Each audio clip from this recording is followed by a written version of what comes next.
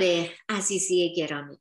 ما از مجموعه پرژن وارز این مصاحبه رو تشکیل دادیم و اینو خدمت شما می‌خوام بگم که مجموعه بزرگی هستیم که قصدمون این هست که مرزا رو برداریم.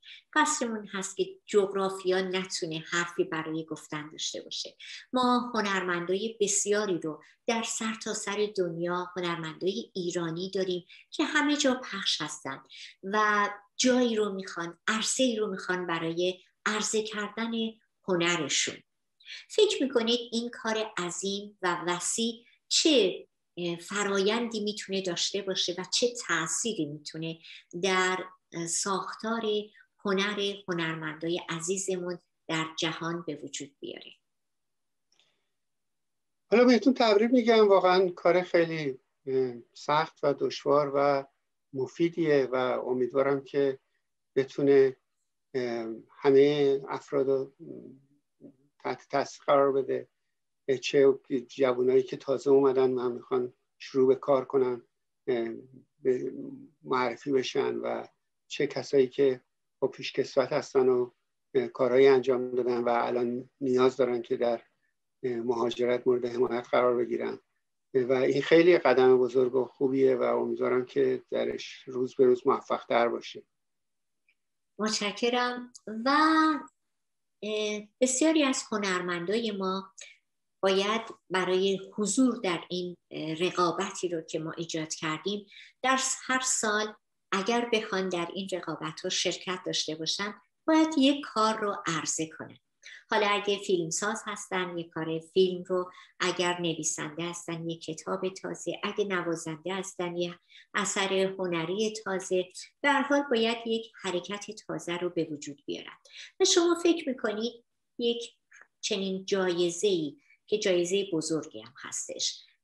یعنی از نظر وسعت بسیار جایزه بزرگی هست. چقدر می‌تونه در کیفیت کار این هنرمندا موثر باشه؟ جایزه که خیلی خوبه. یکی از جایزه بعدش میاد. بله حتما موثره. اصلا یکی از چیزای دنیا هم رو همین میشرخه دیگه. که بتونن با دادن جایزه در واقع امکانی فراهم کنن برای کسی که جایزه رو برنده میشه که بتونه کارهای بعدیش انجام بده و بتونه در واقع بهتر کار کنه. و این خب تو همه جای دنیا کار کرده و و نتیجه هم داده. امیدوارم که روز گرامی ایران بشه. در واقع بتونید یه یه نقش خیلی خوب و سازنده ای در این زمینه ایفا کنید که دارید می‌کنید ولی خب امیدوارم بهتر و بیشتر. بله. و این رقابت ها به هر حال به یه شکلی باید ارزیابی بشه.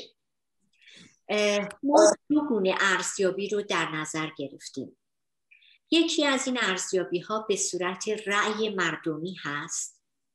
و دومیش به صورت از طریق آکادمی هست که اون آکادمی رأی مطلوب رو به دلیل اینکه افراد زبده و خبره و ورزیده در اون هستن در رشته های مختلف اونها یه رأی میدن و بعد برای اینکه حقی به شکلی از کسی ضایع نشه مردم هم رأی دیگری رو میدن.